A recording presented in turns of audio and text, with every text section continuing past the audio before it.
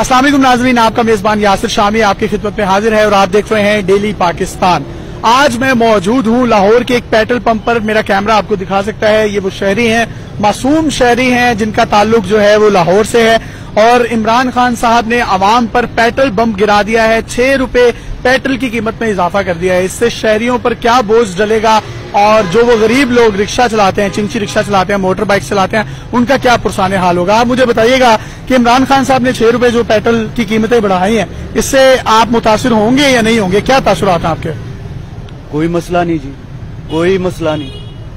کیوں؟ بھائی عمران خان صاحب اگر چھ سو روپے بھی بڑھا دینا پھر بھی کوئی مسئلہ نہیں ہے ہمیں۔ اور بھائی چھ سو روپے اگر بڑھا دینا تو قیمت تقریباً سات سو روپے کے قریب فی لیٹر پہنچ جائے گی۔ چھ روپے پہ چیخے نکل گئے ہیں۔ کس کی چیخیں نکلی ہیں؟ عوام کی؟ کس نے ماری ہیں؟ کب ماری ہیں؟ بھائی میں نے محاورتن کہا کہ غربت سے ان کی چیخیں نکل گئی ہیں۔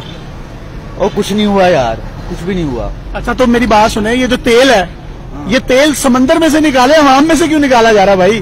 عوام میں سے کیا؟ آپ میں سے تیل نکلتا ہے؟ میرے میں سے نکل یہ بھی میں نے محاورتن کہا ہے کہ تیل غریب آدمی کیا کرے گا؟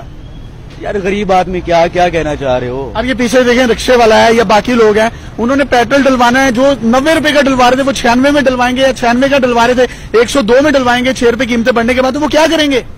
وہ یار پیٹرول پہ کچھ نہیں چلتا سب کچھ ایل پی جی پہ ہے۔ یہ بائک میں پیٹرول نہیں ڈلتا یہ دیکھیں میرا کیمرہ آپ کو دکھائی اس ٹینکی نہیں ہے؟ نہیں۔ یہ ٹینکی میں کیا ڈلا ہے؟ ایل پی جی یعنی کہ آپ کے کہنے کا مطلب سب ایل پی جی پہ ہیں؟ ہاں۔ سب ایل پی جی پہ ہے بھائی۔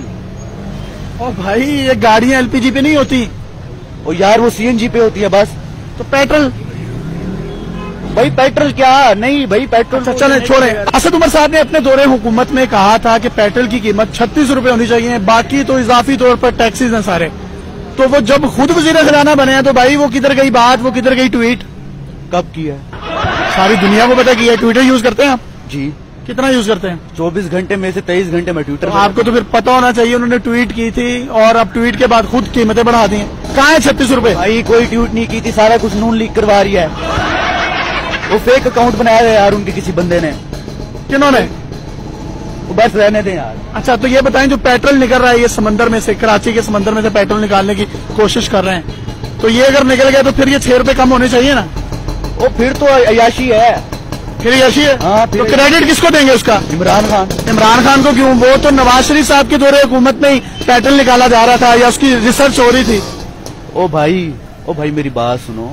عمران خان کے دور میں نکلے نواز شریف نے کچھ نہیں کیا۔ اچھا نہیں عمران خان نے کیا ہے۔ اللہ نہ کرے پیٹرول نہ نکلا کراچی سے پھر۔ نواز شریف کا قصور ہے۔